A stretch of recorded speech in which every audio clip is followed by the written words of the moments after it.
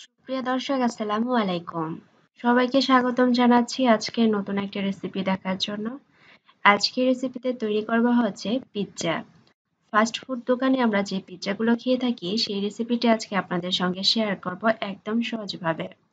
খুবই সহজ আর খুবই ইজি একটা রেসিপি আশা করছি সকলেই পারবেন। যারা কিনা একদমই নতুন, তারাও একদম সহজে এটা তৈরি করে নিতে পারবেন। তো আশা করছি আমার আজকের রেসিপিটা সকলের কাছে অনেকটা ভালো লাগবে। রেসিপি ভালো লেগে থাকলে অনুরোধ থাকবে চ্যানেলটিকে সাবস্ক্রাইব করে রাখার জন্য। তাহলে চলুন ঝটপটভাবে তৈরি করে ফেলি। তো এখানে নিয়ে নিচ্ছি হচ্ছে দুই কাপ পরিমাণ আটা। আজকের পিৎজাটা তৈরি করব আটা দিয়ে।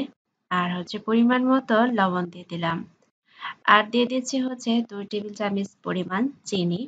আমি এখানে পিৎজা সস ইউজ করব না, সেজন্য চিনি দিয়ে দিলাম। আর দিচ্ছি হচ্ছে এক টেবিল চামচ পরিমাণ ইস্ট আর দুই টেবিল চামচ পরিমাণ রান্নার যে তেল সেটাই দিয়ে দিচ্ছি। আর এখন দিয়ে দিব হচ্ছে লিকুইড দুধ আর এই দুধটা কুসুম গরম। আর অবশ্যই চেষ্টা করবেন কুসুম গরম দুধ দেওয়ার জন্য। আপনারা দুধের পরিবর্তে এখানে কুসুম গরম পানিও ব্যবহার করতে পারেন। এখন হচ্ছে এটাকে ভালোভাবে মাখিয়ে নিতে হবে। ডোটা খুবই সফট হতে হবে আর একটু সময় নিয়ে এটাকে ভালোভাবে মথে নিতে হবে।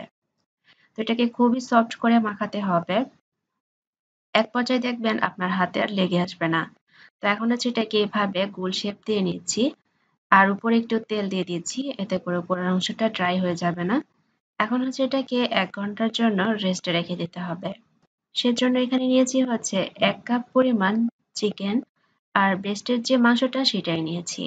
আর ছাড়া মাংস নিতে হবে আর এক কাপ পরিমাণ পেঁয়াজ কুচি দিয়ে দিলাম।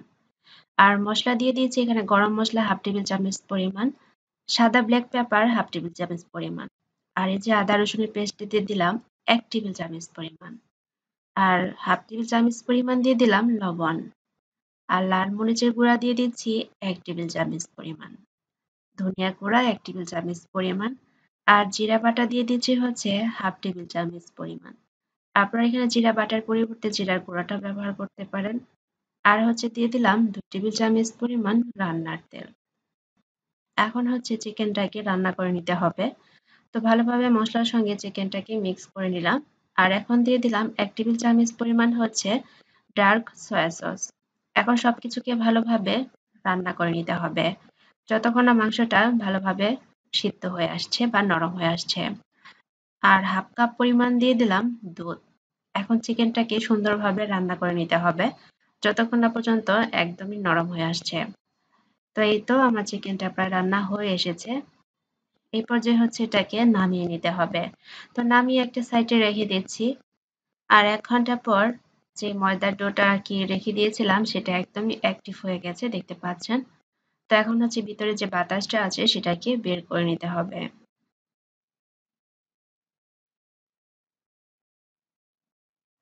তো পিৎজা তৈরি করার জন্য আমি এতটুকু পরিমাণে নিয়ে নিচ্ছি।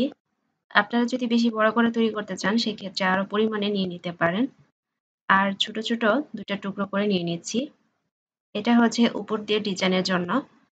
তো এতটুকু পরিমাণে হচ্ছে নিয়ে নিচ্ছি। তো আমি এখানে যে পরিমাণ ডো নিয়েছিলাম, এতে করে দুইটা পিৎজা হয়ে যাবে।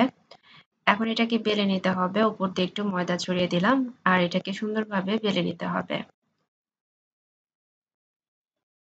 তো এই তো দেখতে পাচ্ছেন, এটাকে বেলে নিচ্ছি। আর এই তো আমার বেলে নেওয়া হয়ে গেছে যে পুরোত্বটা ঠিক এরকমটা হবে। আর এদিকে একটা পিৎজা ট্রে নিয়ে নিয়েছি। আপনাদের কাছে ট্রে না থাকলে স্টিলের প্লেটের মধ্যেও কিন্তু তৈরি করে নিতে পারেন। আর প্লেটের মধ্যে অবশ্যই একটু তেল মাখিয়ে নেবেন, এতে করে সুন্দরভাবে উঠে আসবে। আর একটা কাটা চামচ দিয়ে এইভাবে কেচে নিতে হবে। পুরোটা এইভাবে কেচে নিতে হবে, এতে করে অতিরিক্ত ফুলে যাবে না। তো এইভাবে হচ্ছে সম্পূর্ণটাই কাটা চামচ দিয়ে কেটে নিতে হবে। কেটে নেওয়া হয়ে গেলে এখন এর মধ্যে দিয়ে দিচ্ছি টমেটো কেচাপ। পুরোটার মধ্যে এইভাবে দিয়ে মাখিয়ে নিতে হবে। তো এই তো আমার টমেটো কেচাপটা হচ্ছে দিয়ে দেওয়া হয়ে গেছে।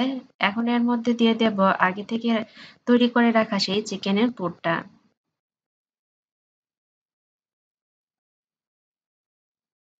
তো এই তো চিকেনের পুরটা দিয়ে দিয়েছি।